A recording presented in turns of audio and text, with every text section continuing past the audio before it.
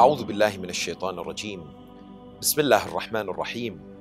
الحمد لله رب العالمين. نحمده ونستعين به ونتوكل عليه. والصلاة والسلام على أشرف الخلق وخاتم الأنبياء وسيد المرسلين. حبيب إله العالمين سيدنا وحبيب قلوبنا وشفيع ذنوبنا. أبي القاسم المصطفى محمد صلى الله عليه وعلى أهل بيته الطيبين الطاهرين. المعصومين المطهرين المكرمين. Assalamu alaikum wa rahmatullahi ta'ala wa barakatuh. Oh Allah, bless those faces that are burnt by the heat of the sun. Oh Allah, bless those cheeks that place themselves on the grave of Hussein ibn Ali. Oh Allah, bless those hearts that are sorrowful for us. Oh Allah, bless those voices that are raised in agony due to our calamity.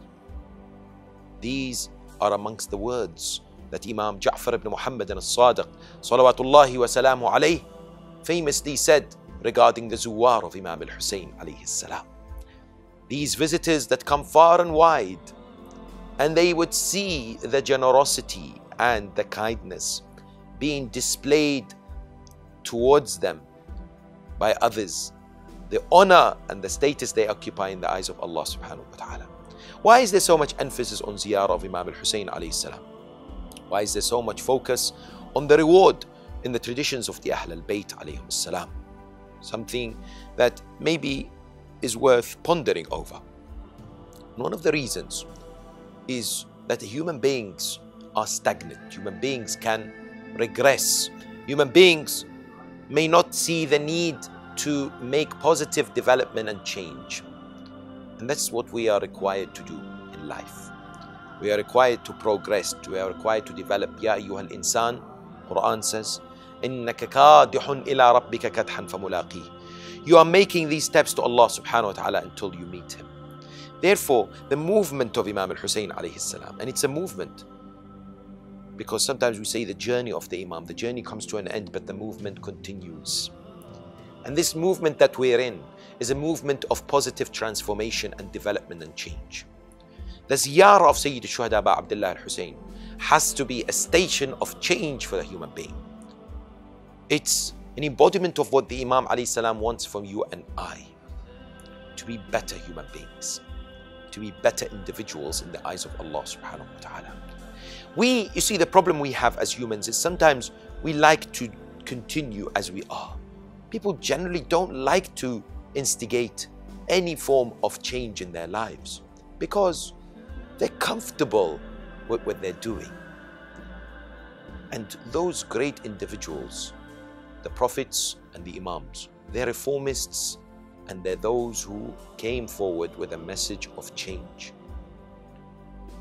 And they did so in incredibly delicate but emphatic fashion. Look at the Holy Prophet Muhammad sallallahu alayhi wa alihi wasallam. We find in 23 years he instigated the most dramatic change that the world has ever witnessed.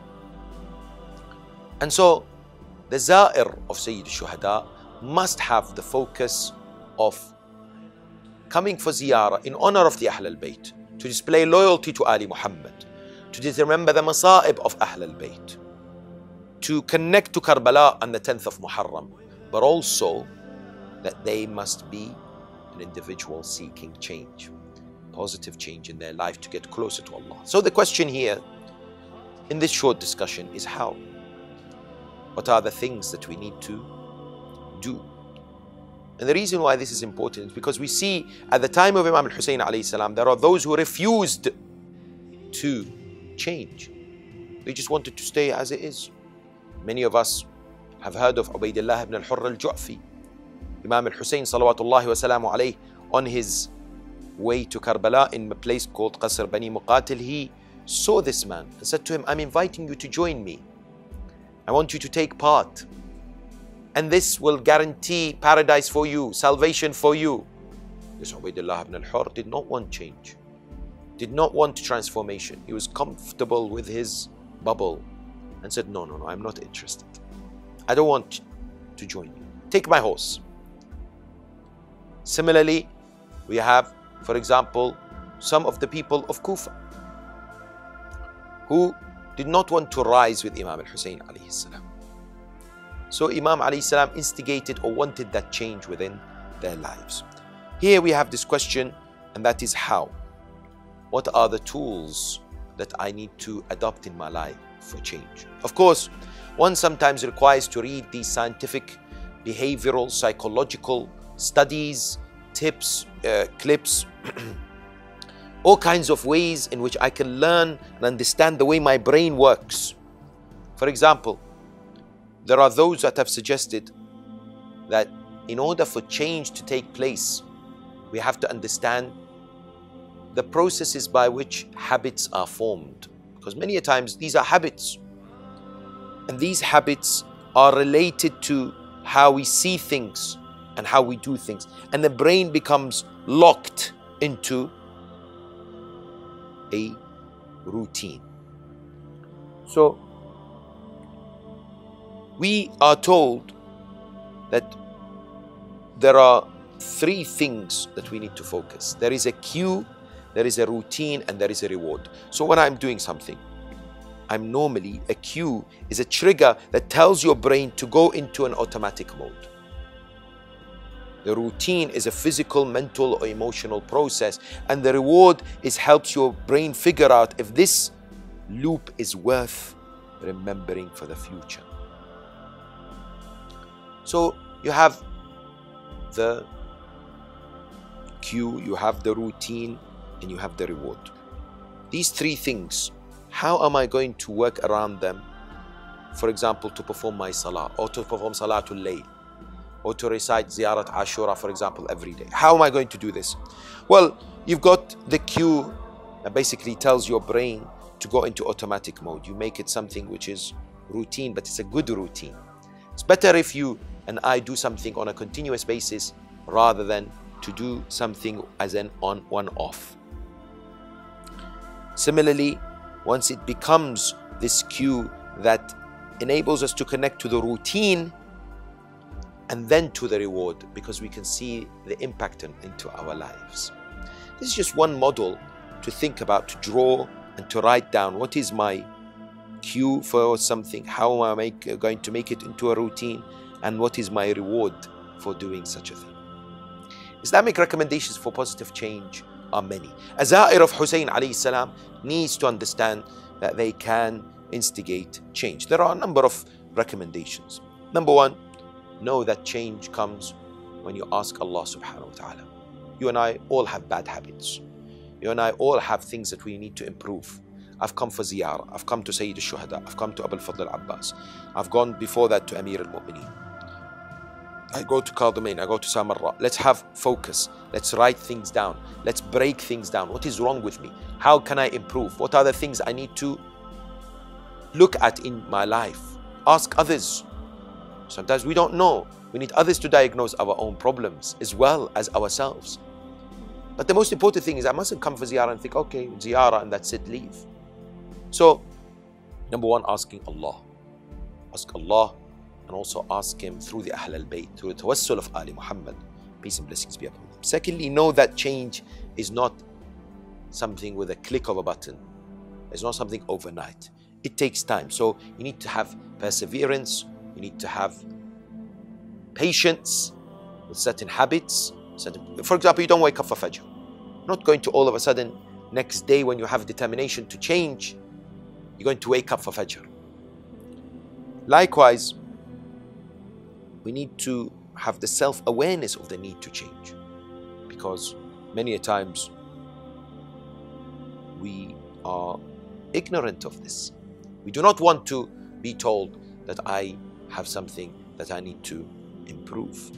The younger we are, my dear sisters and brothers, the more likely we would like to positively develop ourselves. And we ask for consultation. Al-Mu'mineen wa Mawla al-Muttaqeen Ali ibn Abi Talib salawatullahi wa salamu alayhi famously says, ما خاب من استشار Anyone who consults would not be disappointed. We need to also at the same time accept this criticism and don't take it personally and we must never give up. Perseverance is absolutely essential, and sometimes together, collectively. For example, we're not reading books, we're not educating ourselves. That could be a point of change after ziyarah. To gain more knowledge, maybe do a book club, something that everybody comes together to perform. And so, positively, you're rubbing off each other and encouraging each other as well. There are a number of ways in which Imam al Hussein and his remembrance, salawatullahi wa alayhi, can help us to change. Number one, the majalis. The majalis of Imam al Hussein alayhi salam in Muharram and other times. How have they been emphasized by the Ahl al Bayt? How important are they? Because they are stations of change. Haram, many times people seek because they have had enough of some of their practices and they want to improve themselves. The power of the love and ishq of Sayyid al-Shuhada Imam al-Hussein alayhi salam something that has helped so many people improve their lives and progress towards Allah subhanahu wa ta'ala. The power of the tears and the shedding the crying for Imam al-Hussein alayhi salam cleanses us from within. How many zuwar we have seen here in Karbala that have come and stood in front of the Darih of Sayyid Shuhada and Abu al-Fadl Abbas and have cried and cried and has felt serenity, have felt tranquility, have felt completely different as if a load has been removed from them. As Imam al-Rida salawatullahi wa salamu alayhi was asked, Alastum kullukum sufunun najat? Aren't you all the ships of salvation? He responds, Bala, of course. ولكن سفينة الحسين أوسع وفي لجج البحار أسرع. The ship of Hussein is vaster and in the oceans is quicker. So with Abu Abdullah, with the crying, with the majalis, with the ziyarah, there is more potential to change. Because the heart softens. Because you want to get close to him. And only the pure ones can get close to him. We need to shed the sins and the bad habits. And that is a great motivator and inspiration for doing so. He is a great role model for us. And we are aware that he said, إني لم أخرج أشرا ولا بطرا ولا ظالما ولا مسدا ولكنني خرجت لطلب الإصلاح في أمة جدي. I've come out for change. That's why my motive is to enjoin the good and forbid the evil. And so when we change, we are indeed forbidding evil and enjoining the good. Finally, his call, هل من ناصر ينصرنا? Is there anyone to help us? Is for you and I. Also has a private message to you and I. Imam al-Hussein says, will you help me? Because when you and I make that determination, that commitment, strengthen our willpower and self-control, and move forward towards Allah subhanahu wa ta'ala, we're answering the call of Sayyid Shuhada. The call that still reverberates around the world today. Therefore, in ziyarah, make a commitment. Stand before the grand mausoleum of Sayyid Shuhada. Say, I will change. I will improve. I can be a better person and I will not stagnate because I love Hussein, I love Abbas, I love Allah subhanahu wa ta'ala, and I'm going to go forward. And this is what Labbaik ya Hussein means. Labbaik ya Hussein means I will change and I will become a better individual. That's the message of Ashura. That's the message of Karbala. Assalamu ala al-Hussein wa ala Ali ibn al-Hussein wa ala awlad al-Hussein wa ala ashab al-Hussein jami'an wa rahmatullahi wa barakatuh. سيد الشهداء I'll give all that I have in the way of Al-Hussein just like Umm al-Bani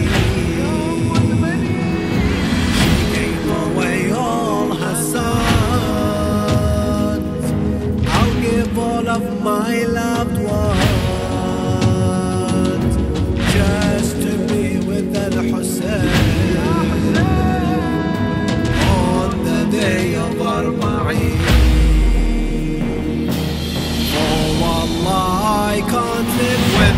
without Hussein. How can I not see Bainul Haramain? My whole life just only has one aim to be beside like the one that was slain. الله أكبر يا كربلاء قلبي عاشق زيارة كربلاء كربلاء بحق سيد الشهداء.